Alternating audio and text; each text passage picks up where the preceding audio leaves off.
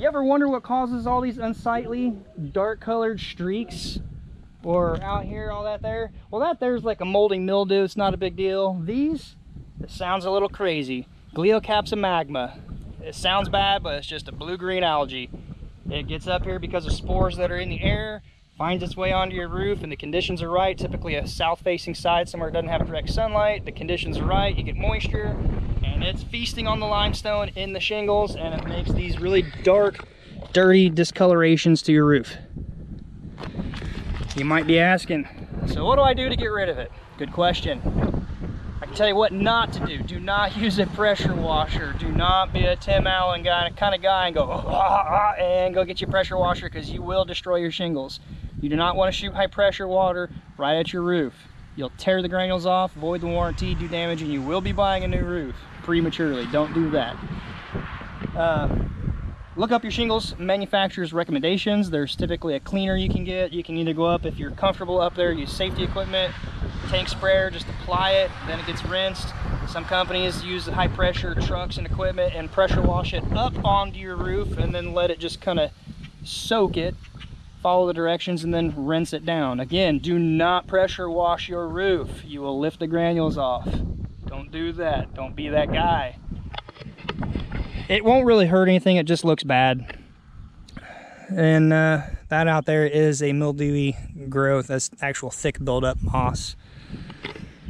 You can see some of it like right here. Not that big a deal. It's unsightly, I know. It doesn't really hurt anything.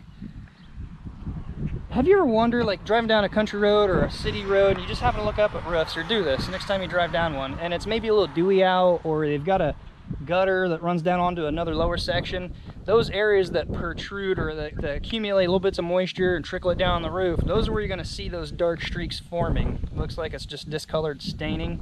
Whereas maybe, say there was a pipe right there and the water diverts around it and the chemicals in the steel or the metal or whatever material it is wash down. It's clean right there. I'll try to throw a photo up of this. I'm sure i can find some in my archive stuff.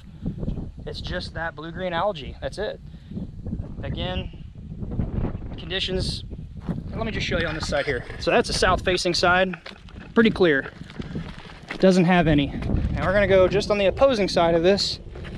Look how dark this is there's a lot more of that mildewy mossy crap there's all the blue-green algae, or if you want to sound cool, Gloeocapsa magma.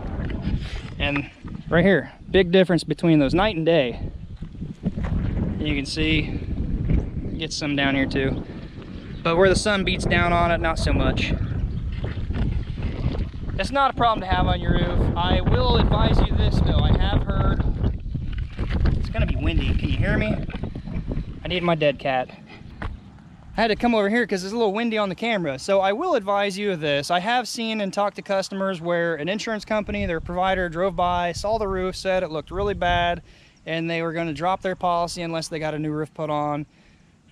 One, it doesn't really need it, and two, the downside is they typically say you got like a week or two or a month. If you want a good quality contractor that's going to do good and take care of you, they're probably backed up and you're gonna go without insurance. So don't fall victim to that. If your roof looks bad, just nip it in the ass, spray it down with the cleaner that the manufacturer of your shingle says, and you're done.